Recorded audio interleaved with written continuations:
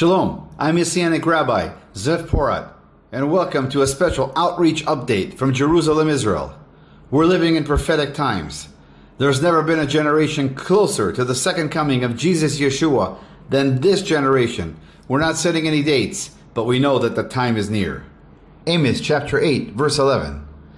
Behold, the days are coming, declares the Lord God, when I will send a famine on the land, not a famine of bread, nor of thirst for water, but for hearing the words of the Lord. We're living in that time right now, where Jews and Arabs are being saved like never before, and the veil is being lifted. 2 Corinthians chapter 3, verse 16. Recently, our ministry did another Bible campaign where we blasted the post boxes with Bible CDs with the messianic prophecies underlined and contact information. Yad L'Achim, the anti missionary organization in Israel, founded to deprogram believers, is shaking. They continue to launch their campaigns against the Bible CD campaign, telling Jews that we're here to steal their souls. And they have a phone number 24 hours a day to be reached. If anybody receives these CDs, phone call them immediately. They're trying to steal your soul. Don't open your post boxes. Praise Yeshua. We've launched tens of thousands of these CDs all through the land of Israel and Jerusalem. It's backfiring on Yad L'Achim because Jews are opening their post boxes.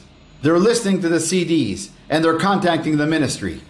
Yad L'Achim's intention is to stop the gospel, but God is turning it around for good. And the gospel is going forth. We're seeing a hunger in Israel that we haven't seen before. Genesis chapter 50, verse 20. You intended to harm me, but God intended it for good, to accomplish what is now being done, the saving of many lives. An Orthodox Jew by the name of Shalom Friedman from Jerusalem contacted the ministry. He said, I received one of your Bible CDs and listened to it. I've never heard these Bible passages. I can't sleep at night. I have unanswered questions. Praise Yeshua. Shalom asked to meet somebody from the ministry. I set up an appointment with Shalom Friedman in Jerusalem and went to meet him as the team were praying. I met Shalom Friedman in Jerusalem. We sat down. Shalom seemed very frightened. He was talking very low.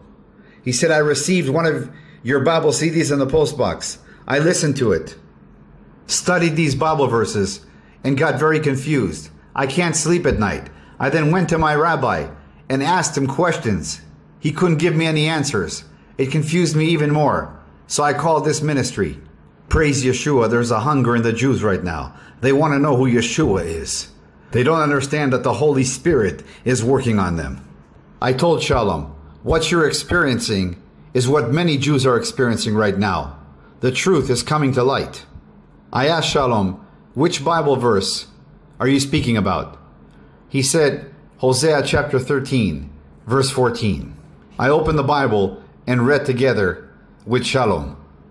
I will deliver this people from the power of the grave. I will redeem them from death. Where, O death, are your plagues? Where, O grave, is your destruction? I will have no compassion. Shalom asked, I don't understand how God delivered us from the grave. This doesn't make any sense. When did this happen to Israel? He asked. How come I never studied this in the synagogue, in the yeshiva? He was asking these amazing questions. It was almost like the Holy Spirit was driving him. I told Shalom, the power of the grave is referring to hell. I will redeem them from death is speaking about the Messiah, who conquered death once and for all, who freed us from destruction. That is what this Bible verse is speaking about. And that is the reason why, when you ask the rabbis, they couldn't give you an answer. Because there is only one answer, and that answer is the one that conquered death once and for all. And this is the reason you can't sleep at night, because God is speaking to you. He wants to deliver you from the power of death into eternal life. Shalom was listening to this. He was in complete shock. He knew the truth. The sleepless nights were about to turn into reality. Shalom then asked, Where does it say in the Bible that it is speaking about the Messiah? I turn the Bible to the book of Isaiah, chapter 25, verse 8, and read together with Shalom. He will swallow up death forever. The sovereign Lord will wipe away the tears from all faces. He will remove his people's disgrace from all the earth. The Lord has spoken. He is referring to the Messiah will swallow up death forever. As you can see, the sovereign Lord, the Messiah, and the Lord Jehovah are one. The Messiah is God. This prophecy is a compound prophecy. It speaks about the Messiah's first coming that already happened and speaks about his second coming. Shalom was hungry. He said, Where does it say that the Messiah already came? I turned the Bible to the book of Isaiah, chapter 53, verse 5, and read together with Shalom. But he was pierced for our transgressions, he was crushed for our iniquities. The punishment that brought us peace was on him, and by his wounds we are healed.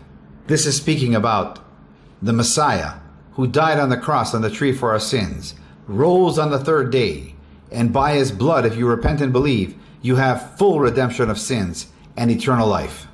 And this is what the Bible verse is speaking about.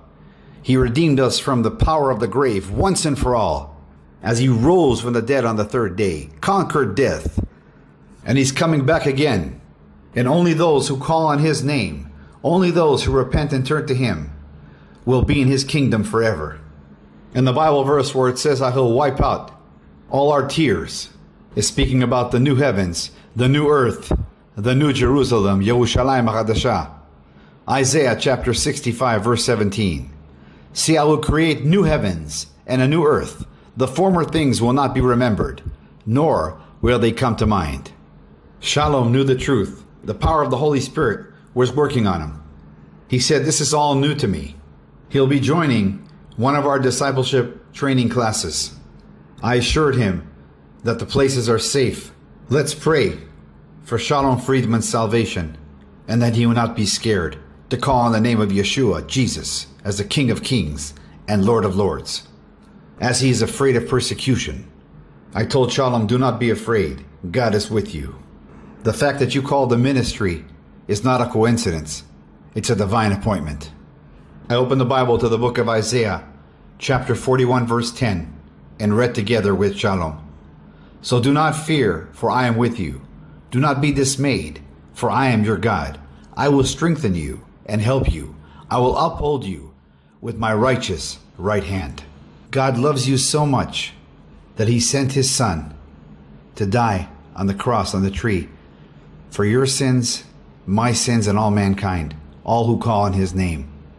I know that you came here because you want the truth. And the truth can only do one thing, and that is set you free.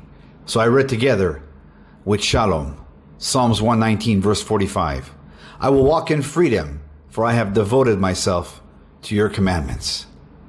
And in Hebrew, the word for commandments is Torah, which means God's instruction. God is not searching for religion.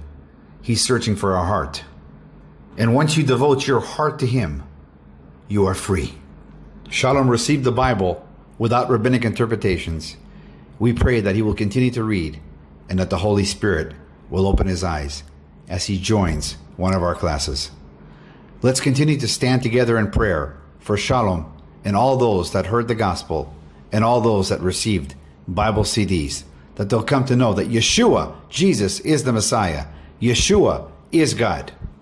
We will continue to preach the gospel all through Israel and to the nations. Achikol Israel ivasha, until all Israel shall be saved. Romans 11:26. Isaiah chapter 46 verse 13. I am bringing my righteousness near. It is not far away, and my salvation will not be delayed. I will grant salvation to Zion my splendor to Israel. And in Hebrew, I am bringing my righteousness near. It is not far away, and my salvation, in Hebrew, my Yeshua, Jesus, will not be delayed. I will grant Yeshua salvation to Zion, my splendor to Israel. Let's continue to stand together as the one new man, Ephesians 2.15. Bring the gospel back to Jerusalem and go home. Until next time, I'm Messianic Rabbi Zev Porat sending you blessings from Jerusalem, Israel, in the mighty name of the King of Kings and Lord of Lords, Al Yehuda, the Lion of the tribe of Judah, Jesus Yeshua. Amen.